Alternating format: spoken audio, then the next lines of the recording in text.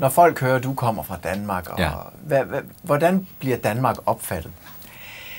For mig at være dansk er selvfølgelig noget, jeg er meget stolt over, og har altid været tæt tilknyttet til Danmark. Alle de år, jeg har været bortrejst nu, hvad er det 41 år, jeg er hjemme i Danmark hele tiden. Elsker alt dansk.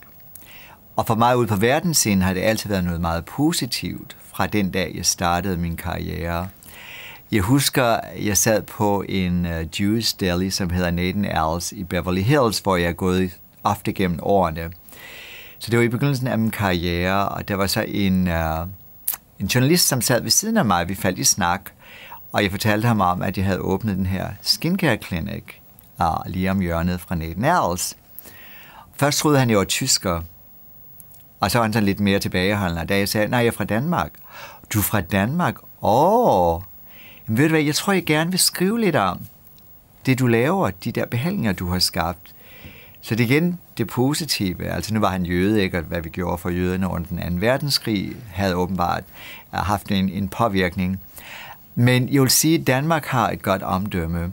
Men der er selvfølgelig også mange i USA især, som ikke ved, hvad Danmark er, eller hvor Danmark er, eller tror, det er en by i Sverige. Eller det er ret så interessant. Amerikanerne med deres geografi, når man først er ude på landet, kan være ret så unik. Uh, men uh, for mig er Danmark jo et land, som har en, en af de bedste levestandarder til hele verden. Danskerne har en fantastisk tilværelse. Uh, den uddannelse, vi får herhjemme, det, det samfund, vi er, det vi giver til vores børn, det vi giver til hinanden som voksne.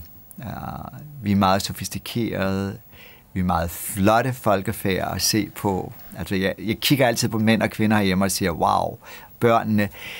Der er noget meget specielt over Danmark, og det kan godt ske, at man skal træde uden for Danmarks grænser for at se det. Men der er ingen tvivl om, at jeg synes, vi har en fantastisk balance i vores liv herhjemme.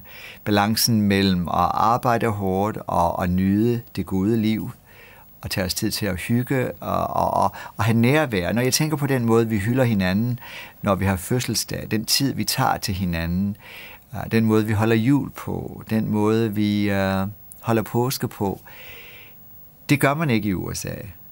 I USA er det fokuseret, altså ikke fordi man ikke at man nyder livet på en anden måde, men det er et samfund, som er meget mere fokuseret på at arbejde hårdt, og øh, der bliver brugt meget tid på at køre i trafik for at komme på arbejde, nogle gange to og tre timer om dagen, oven på en lang arbejdsdag.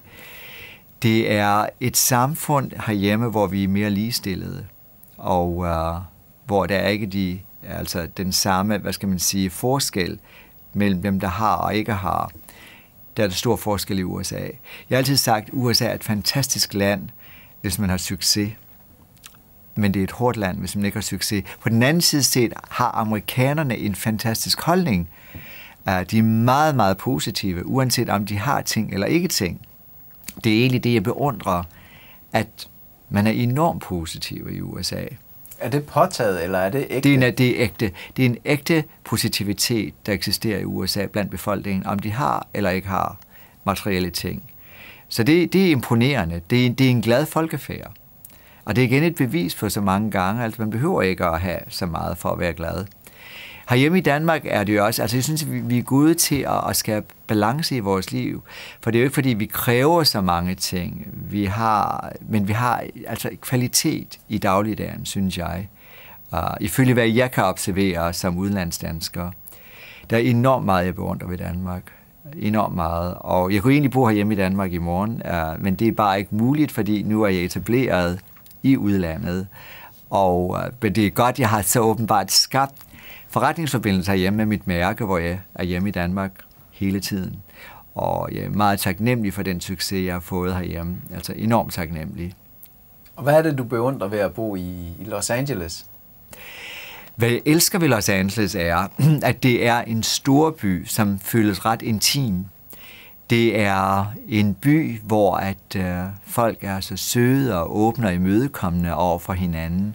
Man er gået til at hjælpe hinanden, og øh, teamsmanship.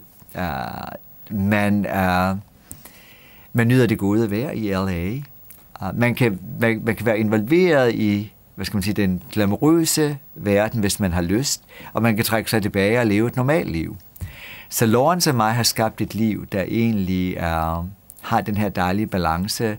Vi er lidt inddraget i den glamourøse, men kun en lille smule. Vi gider ikke det meste af det. Vi lever et normalt liv. Vi har venner, vi har haft i mange år, ah, for vi har været sammen i 27 år, og vi har fantastisk forhold til hans familie og min familie. Vi elsker at tage ud til stranden og gå ture langs vandet. Jeg elsker at rollerblade langs kysten. Vi elsker at have venner over i huset. Vi havde Oscar-selskab nu her i sidste uge, hvor vi bare hyggede os med venner og lækker mad. Og øh, så vi får lov til at, at bare nyde dagligdagen og gå ture i nabolaget og tage ind på en favoritcafé og spise noget lækker morgenmad. Som alle andre steder i verden, der er egentlig ikke noget anderledes ved vores verden, end øh, udover vejret sikkert lidt bedre de fleste af årets dage, end det er hjemme i Danmark. Men øh, en, dejlig, en dejlig tilværelse. Uh, og uh, altså, men jeg ser frem til at vågne op, uanset hvor jeg er i verden. Uh, men det er skønt at være hjemme i LA, må jeg nok sige. Og hoppe ud i baghaven og, og motionere tidligere om morgenen på min ringer og min parallelle bar og med udsigt over byen. Jeg tænker, wow, det er dejligt. Der er så mange ting at, at nyde i Los Angeles. Sent på eftermiddagen sad i forhaven på vores bænk og nyde en kop kaffe og læse en god bog og småsnakke. Og der, det, det er, LA er egentlig det er meget skægt. Nu kender jeg så mange folk i nabolaget, ikke, som har boet der i mange år. Det er som at bo i Nibe på mange måder, hvor vi alle småsnakkede og kendte hinanden.